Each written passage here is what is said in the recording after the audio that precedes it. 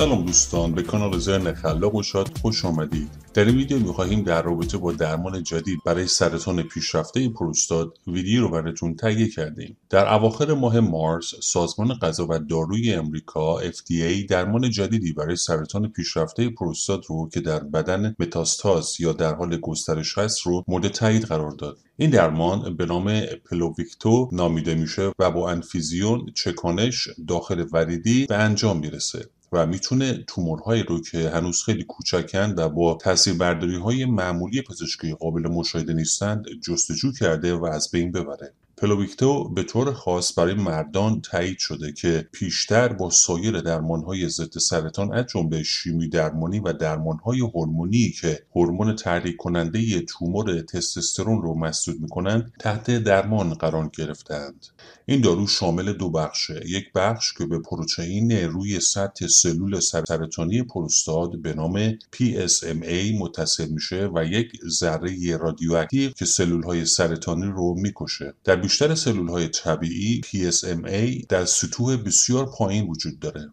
اما پلوویکتو اجازه میده تا به تومورها حمله بکنه و در عین حال به بافتهای سالم حال به بافتهای سالم صدمه ای نمی‌زنه. برای تایید اینکه آیا فردی واجد شرایط مصرف این داروست پزشک ابتدا یک ردیاب رادیواکتیو رو تزریق می‌کنه که در جریان خون به دنبال پروتئین های PSMA میگردد و سپس پروتئین های PSMA میچسبد. سلول های سرطانی نشانه گذاری شده توسط ردیاب در فناوری اسکن تخصصی به نام توموگرافی انتشار پوزیترون نشان داده میشه. حدود 80 درصد از بیماران مبتلا به سرطان پروستات دارای تومورهای PSMA مثبتند برای افرادی که این تومورها را ندارند درمان بی‌اثره. در طول کارآزمایی بالینی که منجر به تایید پلوویکتو شد حدود 831 مرد به طور تصادفی به دو گروه تقسیم شدند.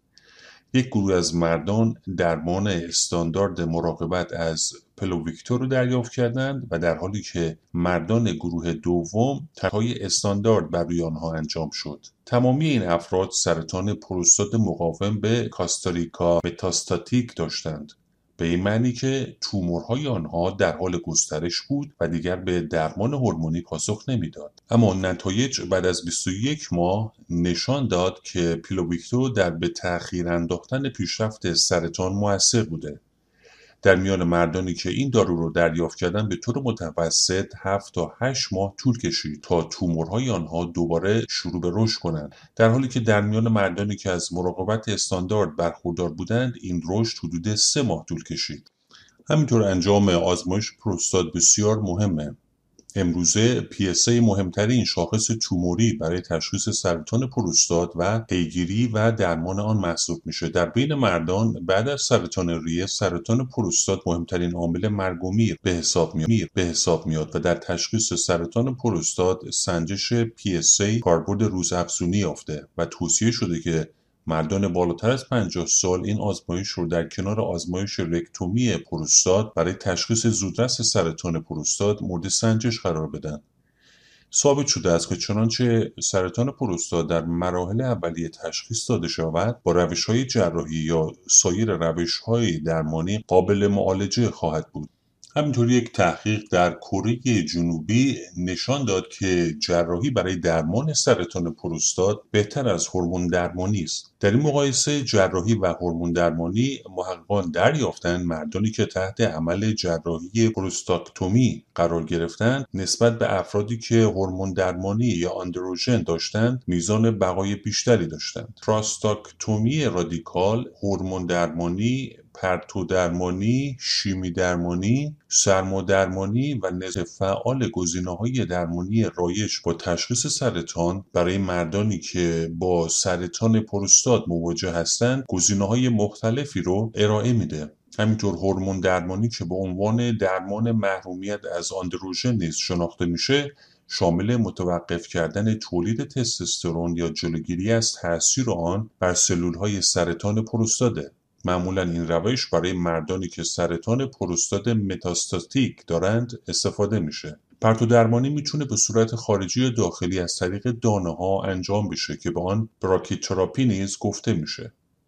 شیمی درمانی استفاده از داروها به صورت خوراکی یا تزریقی به بیمار اجازه میده. در سراسر بدن بیمار حرکت می‌کنه و در نتیجه به سرطانی که فراتر از پروستات شروع شده حمله می‌کنه. معمولا برای سرطان پروستات از مراحل اولیه استفاده نمیشه. همینطور سرمادرمانی است سرمادرمانی شامل استفاده از سرمای شدید برای از بین بردن سلولهای سرطانیه گاهی اوقات برای سرطان پروستات در مراحل اولیه استفاده میشه در مراحل اولیه بیمار تحت نظر قرار می گیرد. مردان به جای شروع درمان این روش برنامه آزمایش و در صورت پیشرفت سرطان پروستات این درمان رو شروع می کنند. همینطور یکی از مزیت های جراحی پروستات تاثیر کاهش خطر مرگ در سرطان پیشرفته در بیماران 75 ساله به بالا می باشه. همینطور عوارض جانبی شدید موثر بر زندگی از جمله پوکی استخوان و انفارکتوس میوکارد در مردانی که تحت هورمون درمانی قرار گرفتهاند یک ممیز 6 برابر افزایش یافته اما علائم گسترش سرطان پروستات کدام هستند سرطان پروستات در هر ماه یکسان رشد نمی‌کنه زیرا تا حد زیاد به ژن بدن فرد بیمار بستگی داره. داره بنابراین خیلی مهمه که علائم گسترش سرطان پروستات رو بدانید تا بتونید به متخصص مراقبت های بهداشتی خودتون مراجعه کنید. همینطور توجه داشته باشید که بسیاری از این علائم با سایر بیماری هایی که بر پروستات تاثیر می‌ذاره نیز مرتبطند.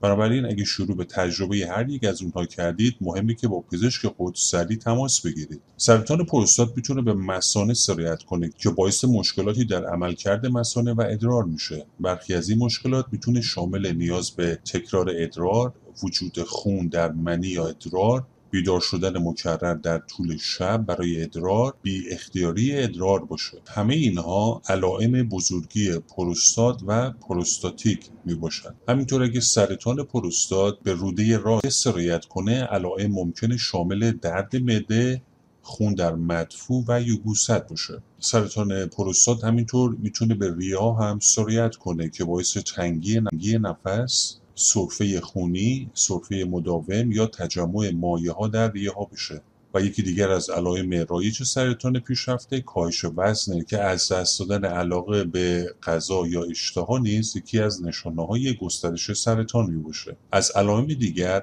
رشد قدرت لنفاوی در کشاله ران می باشه که بسیار نزدیک به پروستات هستند. اغلب محل قرارگیری سلول های سرطانی در حال گسترشند هنگامی که سلول های سرطانی در موقعیت خود قرار می گیرند با توانایی گراهایی برای تخلیه مناسب مایع تداخل پیدا می‌کنند. این منجر به تورم قدرت لنفاوی و درد در نایه کشاله ران میشه. در بیشتر موارد سرطان پروستات متاستیک بر استخوانها و به ویژه باسن ستون فقرا تاثیر می‌ذاره. همونطور که سلول های سرطانی سلول های سالم رو از بین می‌برند استخوانها شکننده می‌شوند. سرطان در استخوانها دردناک میشن و معمولا با درد درد خنجری یا درد مبهم مزمن مشخص می‌شوند. همینطور کمردرد ممکنه نشانه گسترش سرطان نخا باشد یا ممکنه نشانه از وجود سرطان در استخوان باشه. دوستان از شما تشکر می‌کنیم که تا پایان این ویدیو با ما بودید. لطفا این ویدیو رو لایک کنید اونو با عزیزان خودتون به اشتراک بگذارید و همینطور از ویدیوهای دیگر ما هم دیدن بکنید.